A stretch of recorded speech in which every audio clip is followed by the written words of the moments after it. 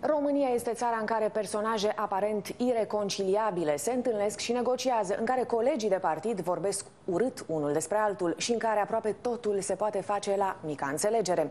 Asta reiese din cablogramele ambasadorului american la București și interceptate de Wikileaks. Telegramele nu conțin doar analize sau scrisori, ci redau fidel discuțiile purtate de către ambasador cu oameni politici sau chiar jurnaliști.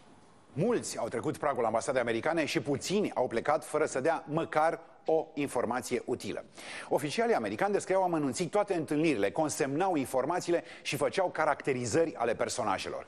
În 2007, americanii au urmărit foarte atent procesul suspendării lui Traian Băsescu. Multe discuții le-au purtat cu Mircea Joană, președinte al PSD atunci și fost ambasador în America. Ambasadorul Tauman spune că Joană s-a prezentat drept numărul 1 în România și viitorul prim-ministru și a mărturisit că a avut două discuții cu Traian Băsescu chiar înainte de suspendarea din funcție.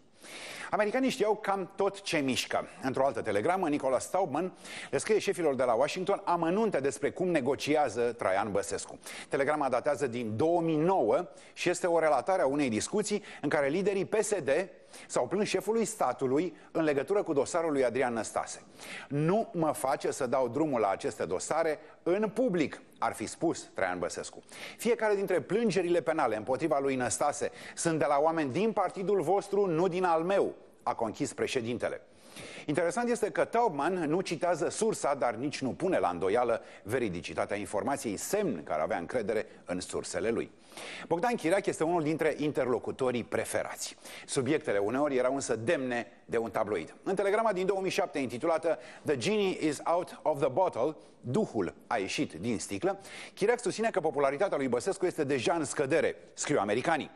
Poți să-ți imaginezi că Băsescu s-a lăudat europenilor, că poza lui este în fiecare casă de la țară, așa cum spunea și Ceaușescu? ar fi povestit ziaristul. Tot de la Bogdan Chirac, americanii au aflat că directorul de comunicare, Adriana Săftoiu, a fost mustrată după ce le-a spus jurnaliștilor că Elena Udrea petrece ore în șir cu Traian Băsescu în spatele ușilor închise.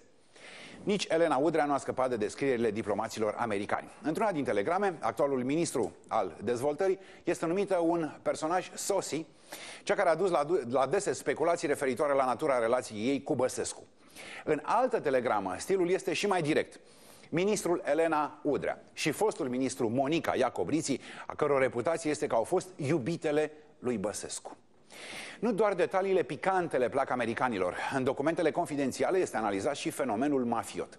Într-o telegramă din 2006 este citată afirmația consilierului Uniunii Europene, Ono Simons. Acesta spune că mafia din România este atât de bine organizată încât membrii acesteia nu trebuie să se împuște între ei așa cum se întâmplă în Bulgaria. Cele mai multe și mai amănunțite telegrame privind situația politică de la București au fost trimise în 2007 în preajma suspendării președintelui Băsescu. Un alt flux consistent datează din 2009 înainte de alegerile prezidențiale. Un taximetru